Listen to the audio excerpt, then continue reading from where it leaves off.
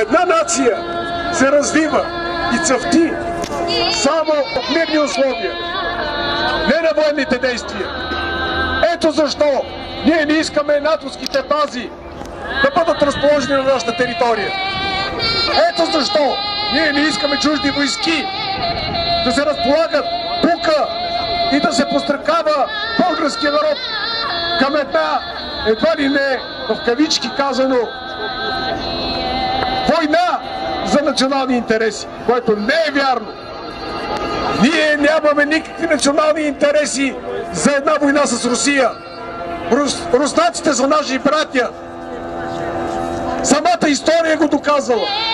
Вижте самата история и ще видите, че винаги са ни помагали, когато сме били в тежко състояние. Ние искаме дружба.